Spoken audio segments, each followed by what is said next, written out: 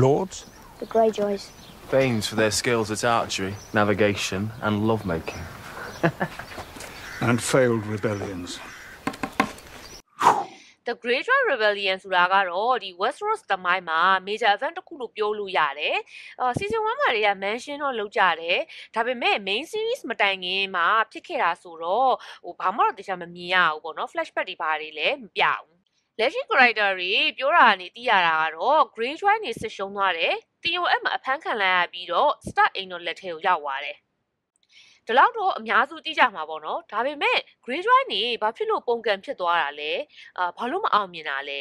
ဘယ်နေရာမှာဘလို့တိုက်ပွဲတွေဖြစ်သွားခဲ့လဲဆိုတာတွေကိုတော့ TV show တွေမှာအသေးစိတ်မပြောပြထားဘူးအာစာအုပ်တွေနဲ့ extra law video တွေမှာပဲပြောထားတယ်အဲ့တော့ဒီစစ်ပွဲကြီးမှာဘာဘာတွေဖြစ်သွားလဲဘလို့စပြီးတော့ဘလို့ပြီးွားလဲဆိုတာကိုကြည့်လိုက်ကြမယ်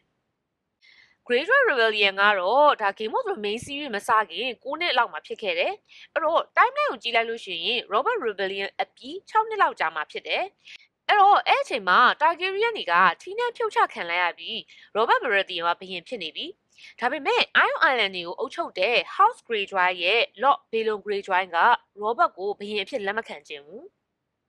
Balon Greyjoy ဆိုတာကတော့ Theon နဲ့ Yara တို့ရဲ့အဖေအဲသူစဉ်းစားတာကတော့ရောဘတ်းတက်တာလည်းသိပ်မကြာသေးဘူးပြည်တွင်းစစ်ဖြစ်တာလည်းသိပ်မကြာသေးဘူးဆိုတော့တိုင်းပြည်မငြိမ်သက်သေးဘူးပေါ့အဲ့တော့သူတို့လိုပဲရောဘတ်ကိုလက်မခံချင်တဲ့ house တွေရှိမှာပဲအထူးသဖြင့်ရောဘတ်ကိုစစ်ရှုံးထားတဲ့သူတွေပေါ့ပြီးတော့ House Greyjoy က Robert Rebellion တို့ကဝင်မပါလိုက်ဘူးစစ်ပွဲပြီးကန်ဒီမှာနိုင်တဲ့ဘက်ကနေပါမယ်ဆိုပြီးတော့နည်းနည်းလေးပဲဟန်ပြပြီးကူညီလိုက်တာ အဲ့တော့ Iron Islands မှာကျန်တဲ့ kingdom တွေလိုမျိုးဆုံးရှုံးမှုတိတ်မရှိလိုက်ဘူးအဲ့တော့ Char kingdom တွေကလည်းစစ်ပန်းနေပြီရိုဘတ်ကလည်းဘရင်သစ်ဆိုတော့ကျန်တဲ့ house တွေကလည်းသူ့ support လုပ်ချင်မှလုပ်မှာ။အဲ့တော့သူတို့ကအခုချိန်မှာ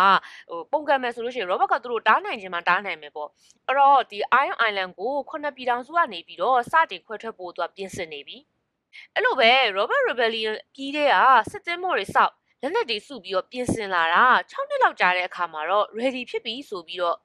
ငါတို့ Iron Island က House Baratheon ထိနေတတာကိုလက်မခံနိုင်ဘူးဒီနေ့ကစပြီးခွဲထွက်ပြီးကိုယ်ပိုင်အုပ်ချုပ်မယ်ဆိုပြီးတော့ကြေညာလိုက်တယ်ဘေလွန် Greyjoy လည်းသူ့ကိုယ်သူ Iron Island ရဲ့ဘရင်အနေနဲ့နန်းတက်လိုက်တယ်အဲ့မှာပဲ Greyjoy Rebellion က official စားခဲ့တာပေါ့ပြီးတော့သူတို့ကအရင်လက်ဦးပြီးတော့အနားမှာရှိရဲ့ Lannister ရဲ့ရေတက်ကြီးကိုစိတ်ကမ်းမှာကမ်းနာကတ်နေတော့မှမီးရှို့ဖျက်ဆီးလိုက်တယ် Iron Island ကကျိုးစုလေးဆိုတော့ကျန်တဲ့ကင်းတန်တွေကသူတို့စီကိုလာဖို့ဆိုလို့ရှိရင်သင်္ဘောနဲ့လာမှရမှာအဲ့တော့ Robert ကမြေပြင်မှာတက်သားတွေဘလောက်မြင်များသင်္ဘောမရှိရင်လာလို့မရဘူးအဲ့တော့သူတို့အနာတဝိုက်ကပင်လယ်ကိုရေတက်နဲ့ကွန်ထရိုလုပ်နိုင်ရပြီဆိုပြီးတော့ Lannister တွေရဲ့ရေတက်ကြီးကိုအရင်ရှင်းပလိုက်တယ်အဲ့တဲ့ဘွဲကိုတော့ Balon Greyjoy ရဲ့ညီ Euro နဲ့ Victorian ကဥဆောင်ပြီးတော့တိုက်လိုက်တာ Lannister တွေလည်းရုတ်တရက်အငိုက်မိပြီးတော့ခံလိုက်ရတယ်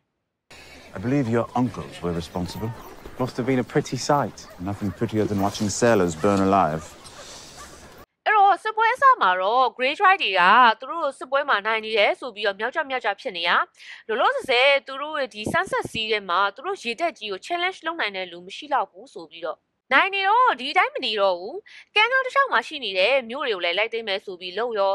အဲ့ဒါလည်းပဲ Riverland နဲ့က Seagull ဆိုတဲ့မြို့ကိုအရင်သွားတိုက်တယ် ဒါကတီယွန်ရဲ့အကိုအကြီးဆုံး Roderick Greyjoy ကိုယ်တိုင်သွားတိုက်တာ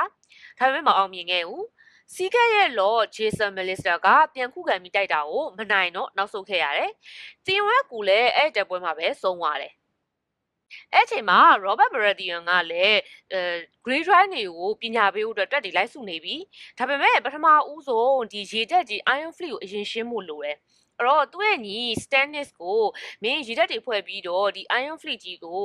ဖြိုခွဲပေးဖို့ဆိုပြီးတော့တာဝန်ပေးလိုက်တယ်။အဲ့ချိန်တော့ Stannis က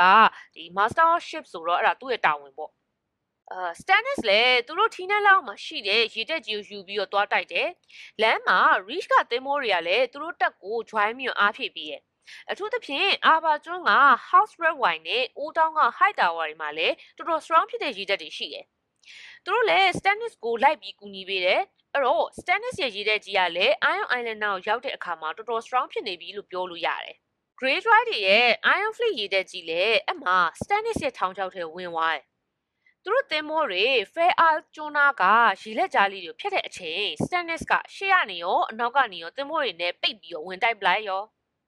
အိုင်ယွန်မောတွေကတိုက်ရိုက်ခိုက်ကောင်းပေမဲ့နီးပြူဟာရပါတိတ်မသိဘူးနည်းနည်းညံတင်တယ်လို့ပြောလို့ရမှာပေါ့နော် Stannis ကနီးပြူဟာရပါသုံးပြီးတက်လိုက်တာ Iron Fleet ကြီးလည်းပြိုဝဲသွားရော Grey Dragon ဒီမှာလည်းရေးတက်ပဲကောင်းကောင်းရှိတာအခုအဲ့အရာတော့မရှိတော့ဘူးဆိုတော့ချိန်နေမကောင်းတော့ဘူးတချို့သွားလူတွေကလည်းဘေလွန် Grey Dragon ကိုရှုံးပေးလိုက်ပါတော့ဆိုပြီးတော့ပြောတယ်ဒါပေမဲ့သူခေါင်းမာတယ်အဆုံးထိခံတိုက်မယ်ဆိုပြီးတော့လုပ်တယ် အခု Iron Fleet ကြီးမရှိတော့ဘူးဆိုတော့ Robert ကသူ့တပ်သားတွေကိုတင်းမောနဲ့ခေါ်ပြီးတော့ Iron Island ကိုလာတိုက်လို့ရပြီပြီးတော့ဘေလွန် Grey Dragon ထင်တာတလို့မဟုတ်ဘူးအဲ Robert ကဘရင်အစ်စ်ဆိုပေမဲ့သူ့စကားကိုတော်တော်များနားထောင်ကြတယ်သူကဘန်နာတွေခေါ်လိုက်တော့ချက်ချင်းပဲအကုန်လုံးလာ join ကြတယ် Nesta ကလည်း North ကတက်ကြီးနဲ့ရောက်လာတယ် Tywin Lannister လည်း Westerland ကတက်သားတွေနဲ့ support ပေးတယ် Riverland လူတွေလည်းလမ်းမှာလာ join ကြတယ် အဲ့တော့ Iron Island တွေကဘလို့မှမရှင်းနိုင်ဘူးစစ်အင်ကအရန်กว่าတယ် Robert တို့ဘက်ကတက်သား10စားလောက်ပိုပြီးများတယ် Robert လည်းတက်သားတွေစုပြီးရနဲ့ Iron Island ကိုသွားတိုက်ရောကျွန်းတွေကအများကြီးဆိုတော့တက်သားတွေခွဲပြီးတော့သွားတိုက်ရတယ် Stannis ကို Iron Island တွေတဲကအကြီးဆုံး Great Wig ကိုသွားတိုက်ခိုင်းတယ် Sabreston ကတော့အဲ့နာက Owick ဆိုတဲ့ကျွန်းကိုသွားတိုက်တယ်ကျန်တဲ့တပ်တွေကတော့ Harlot နဲ့ Orkmok ကျွန်းတွေကိုသွားတိုက်တယ်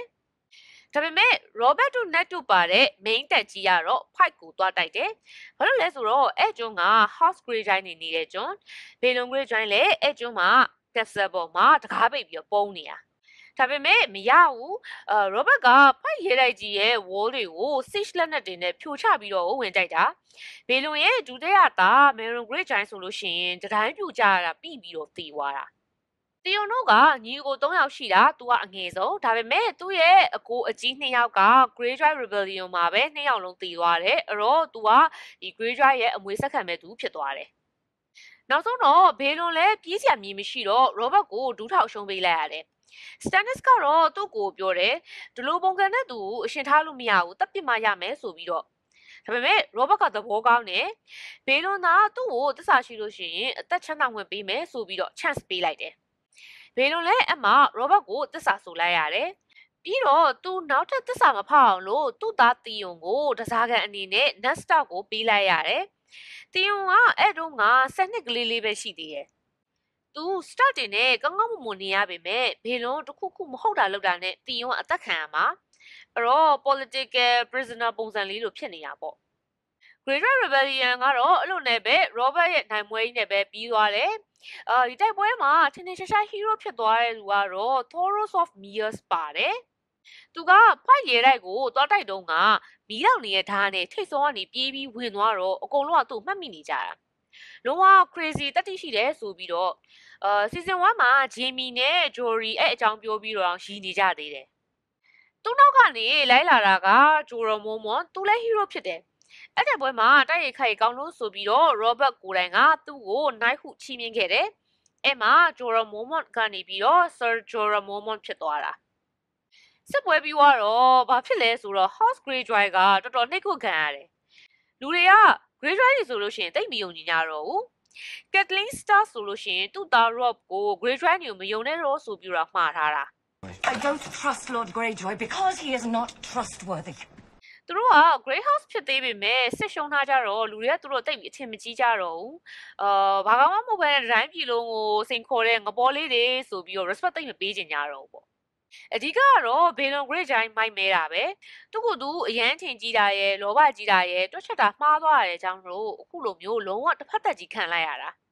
Robert Baratheon အတွက်ကတော့ Greater Rebellion ဖြစ်သွားတာအရန်ကောင်းသွားတယ်။ သူဘရင်တယောက်အနေနဲ့ power ပြခွင့်ရလိုက်တော့ respect ပိုရသွားတယ်။အာ Grey Drive တွေကိုဥမာပေးပြီးလုပ်ပြလိုက်တော့တခြားလူတွေလည်းတော်ရောမဟုတ်တာတိတ်မလုပ်ရတော့တိုင်းပြည်လည်းပို့ပြီးတော့ကြီးကြီးငြိမ်ဖြစ်သွားတယ်။အဲ့တော့ Greater Rebellion ကြီးကမအောင်မြင်ခဲ့ပေမဲ့သူ့ impact ကတော့သေးတယ်လို့ပြောလို့မရဘူး။ King Robert လက်ထက်မှာ Westeros တစ်ခုလုံးရဲ့နိုင်ငံရေးကိုအများကြီးပြောင်းလဲပေးခဲ့တဲ့ event တစ်ခုလို့ပြောလို့ရတယ်။ ပွဲဗီဒီယိုလေးကိုနောက်ထပ်ပေးလူအားလုံးကိုကျေးဇူးတင်ပါတယ်ဗီဒီယိုလေးကိုသဘောကျတဲ့ကူညီပေးခြင်းနဲ့ဆိုလို့ရှိရင်တော့ Facebook မှာ like and share နဲ့ YouTube မှာ like and comment လုပ်ပြီးတော့အားပေးလို့ရပါတယ်အားလုံးကျေးဇူးတင်ပါတယ်တာ